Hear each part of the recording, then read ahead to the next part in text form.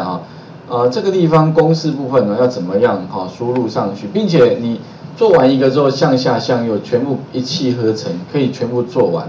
那做完的方式的话，我们来看一下第一个哈，公式的话，因为我们的存款利存款假设是六十万好了，那也就是我今天放在银行，那要乘上多少？乘上刮胡，因为我本身的本金是一，在呃加上利率，利率的部分的话是年利率。啊，年利率，然后再把它刮弧。那后面因为是复利计算，所以是几次方，所以几几次方就几年的，就是自己本身第一年是自己，第二年是自己再乘上自己，啊，就是一加上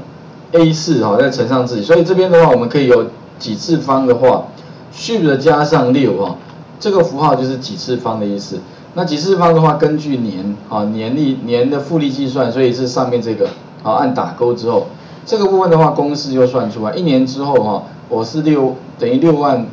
零七百五十，哦，那这个部分的话，后面七百五十就是我们的利利息部分。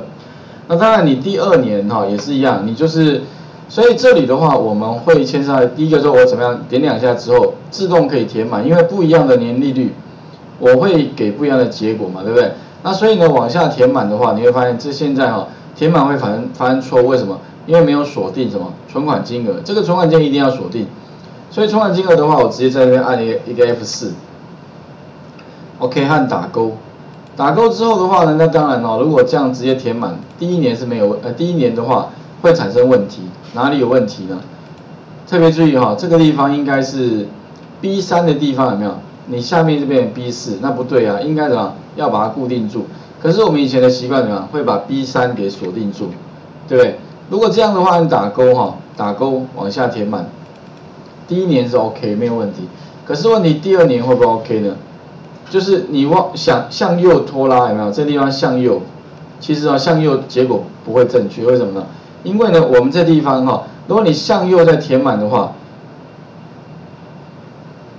好填满过来你会发现呢。